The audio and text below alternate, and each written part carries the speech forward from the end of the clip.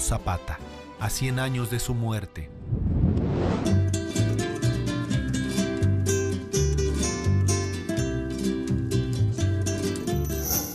¿Por qué Zapata ha sobrevivido como un personaje destacado en la memoria colectiva de los mexicanos?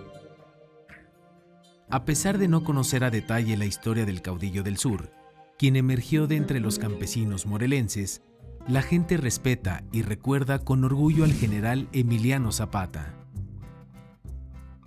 Se dice que uno de los motivos por el cual sus hombres le seguían fielmente era su cercanía y afinidad con ellos.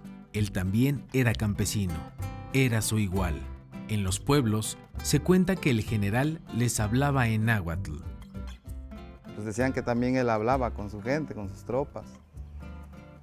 Que él sí les, sea, con ellos, a su gente le platicaba y, y es como se comunicaban con, con él.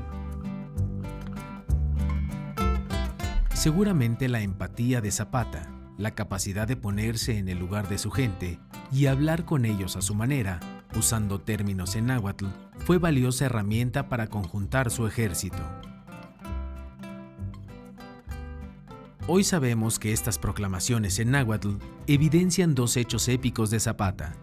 La incluyente invitación a los indígenas para unirse al movimiento en primera instancia y por otro, la sensibilidad de reconocer, hoy y siempre, el lenguaje madre de las tierras mexicanas.